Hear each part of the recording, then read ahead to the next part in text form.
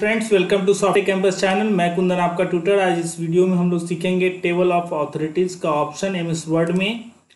और ये वीडियो है डीसीए प्लेलिस्ट की। और डीसीए कोर्स में इस वीडियो को मैं आपको थ्योरी और प्रैक्टिकल दोनों क्लासेस में बताऊँगा। तो अच्छे से समझने के लिए पूरा वीडियो देखिए, क्योंकि वीडियो के शुरू में आपको मैं थ्योरी क्लास में कुछ थ्योरिटिकल पॉइंट्स बताऊँगा, जिसको आप अच्छे से समझ के नोट डाउन कर लेंगे। और प्रैक्टिकल क्लास में इस टॉपिक के ऊपर मैं एक डेमो भी दूँगा वीडियो के अंत में। तो शुरू करते हैं वीडियो को और वीडियो को आगे बढ़ने पर से पहले हम लोग जान लेते हैं कि वीडियो की ऑब्जेक्टिव क्या है। वीडियो को देखने के बाद आप क्या क्या सीखेंगे इस वीडियो में।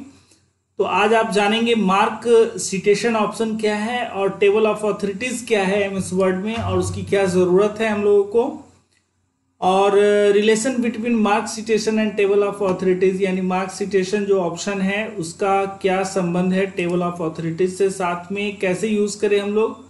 मार्क्स सिटेशन को और टेबल ऑफ़ ऑथोरिटीज़ को एम एस वर्ड में और टेबल ऑफ़ ऑथोरिटीज़ का आप, को अपडेट करने का भी एक ऑप्शन है वो भी आप जानेंगे इस वीडियो में।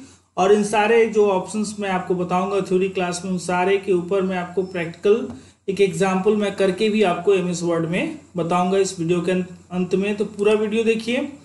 सबसे पहले शुरू करते हैं, जानते हैं मार्क्स सिटेशन क्या है और टेबल ऑफ़ ऑथोरिटीज क्या है। सबसे पहले ये वर्ड जो है ऑथोरिटीज उसके बारे में जानिए। ऑथोरिटीज का मतलब होता है कि किस, कौन ऑथर ऑथर से बना ऑथोरिटीज है यहाँ पे कि कौन कौन से लोग हैं जो इस डॉक्यूमेंट्स को प्रिपेयर करने में आपकी मदद किए हैं। ये टीम वर्क ये टीम क्या है, कौन सा टीम है, इसमें कौन कौन से लोग शामिल हैं।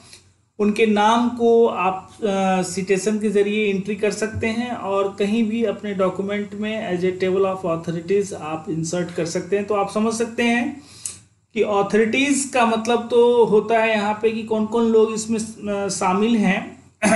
कौन कौन से लोग इसमें अपनी योगदान दिए हैं उन लोगों का नाम। और उनका काम वो किस चीज़ से रिलेटेड है, वो चीज़ आप यहाँ पे मेंशन कर सकते हैं। तो सबसे पहले मार्क सिटेशन में आप कोई भी टेक्स्ट जो भी लिखा हुआ टेक्स्ट है, उसको आप एंट्री कर सकते हैं टेबल ऑफ़ ऑथोरिटीज़ के लिए। और एक बार जब आपका मार्क सिटेशन हो जाएगा, उसके बाद आप इंसर्ट कर सकते हैं टेबल ऑफ़ ऑथोरिटीज़ डॉक्यूमेंट में कहीं भी, किसी भी पेज पे। और एक टेबल ऑफ़ ऑथोरिटीज में क्या क्या चीज़ आप मेंशन कर सकते हैं तो इसमें आप केसेस मेंशन कर सकते हैं। साथ में कोई भी ऑथोरिटीज बहुत सारे हैं, मैं आपको बताऊँगा।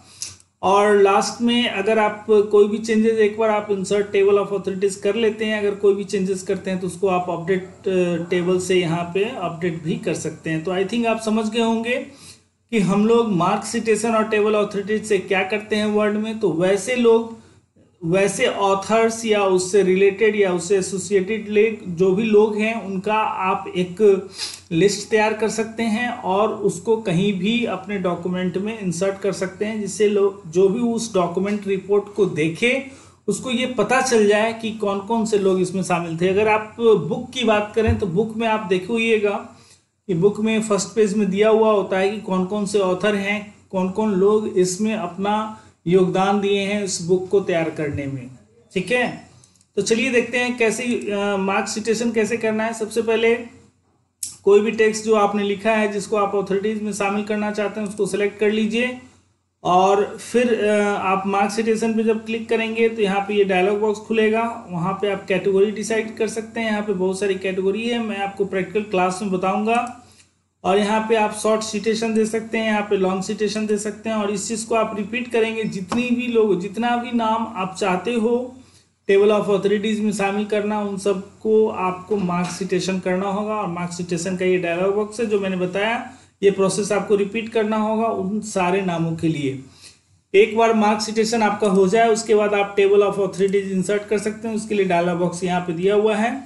टेबल ऑफ़ ऑथोरिटीज़ में आप फॉर्मेट सेलेक्ट कर लीजिए। यहाँ से आप कैटेगरी भी डिसाइड कर सकते हैं अपने अकॉर्डिंग और भी बहुत सारे ऑप्शंस हैं जो मैं आपको प्रैक्टिकल क्लास में बताऊँगा। फाइनली आप ओके पे क्लिक कर देंगे। और यहाँ मैं आपको एक एग्जांपल बता रहा हूँ। ये देखिए, इस तरह का आप अपने डॉक्यूमेंट में प्रिंट कर सकते हैं इंसर्ट कर सकते हैं। जैसे केसेस यहाँ पे एक केस केस में एक इंट्री है, एक ऑथर का नाम है।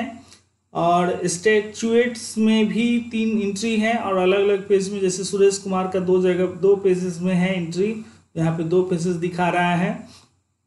तो ये है टेबल ऑफ़ ऑथोरिटीज जिसका मैं आपको एग्ज़ाम्पल बता रहा हूँ और उसको करने के लिए आपको सबसे पहले मार्क सिटेशन करना होगा। उसके बाद इस डायलॉग बॉक्स का यूज़ करके इस तरह का आप टेबल ऑफ़ ऑथोरिटीज अपने डॉक्यूमेंट में डाल सकते हैं। तो चलिए मैं आपको प्रैक्टिकल क्लास में टेबल ऑफ़ ऑथोरिटीज को एक बार करके भी वर्ड में बता देता हूँ। और इससे पहले कि हम लोग प्रैक्टिकल क्लास में चलें अगर आप हमारे नए स्टूडेंट्स हैं नए यूज़र हैं और चाहते हैं इस तरह का video word excel power point से रिलेटेड या प्रोग्रामिंग लैंग्वेज से रिलेटेड तो आप हमारे चैनल से जुड़ जाएँ सब्सक्राइब हो जाएँ और बेल आइकन पर क्लिक करें जिससे कि वो सारी वीडियो अपने आप आपको मिल जाए। और जो भी स्टूडेंट हमारे इस, इस वीडियो को देख रहे हैं और सीख रहे हैं तो वो ज़रूर लाइक और शेयर कर लें।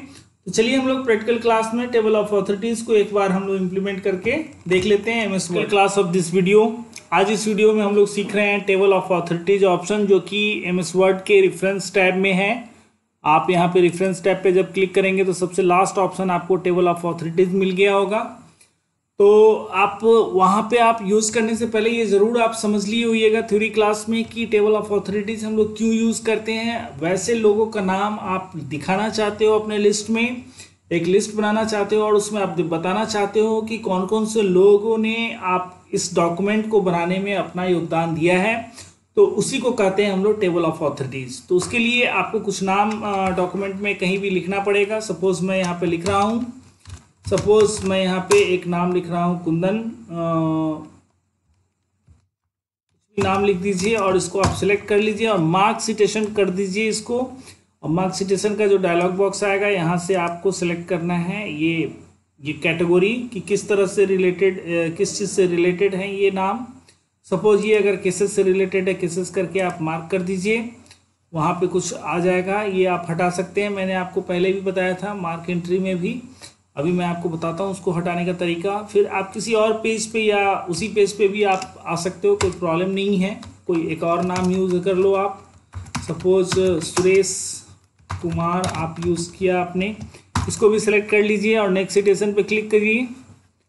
और नेक्स्ट सिटेशन पे आने के बाद सुरेश कुमार का कैटेगोरी आप डिसाइड कर सकते हैं। अगर आप इसको केसेस में ही रखना चाहते हैं तो केसेस रन दीजिए मार्क कर दीजिए। उसके बाद फिर आप दूसरा नाम दीजिए यहाँ पे।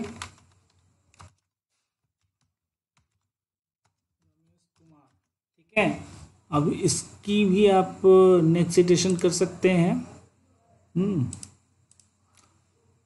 यहाँ पे देखिए, जैसे ही रमेश कुमार आ गया इसको सिलेक्ट कर लीजिए आप।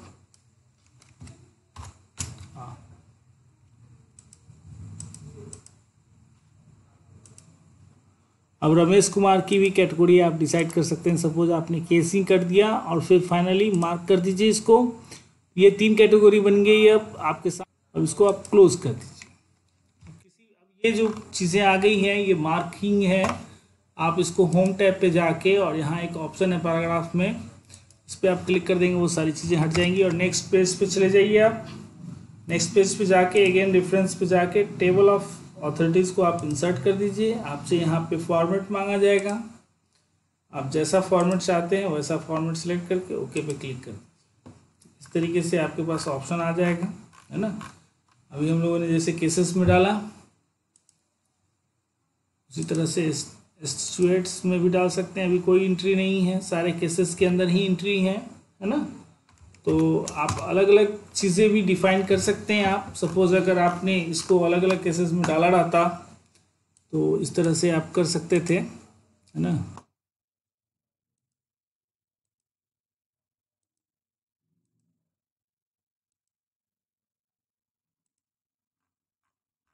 कोई भी चेंजेस करने के बाद आप चाहो तो अपने टेबल ऑफ़ ऑथोरिटीज़ को अपडेट भी कर सकते हो।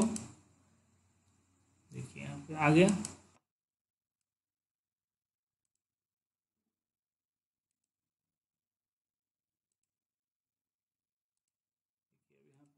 दो ऑप्शन आ गए। मैंने अभी अदर ऑथोरिटीज़ में रमेश कुमार को डाला है।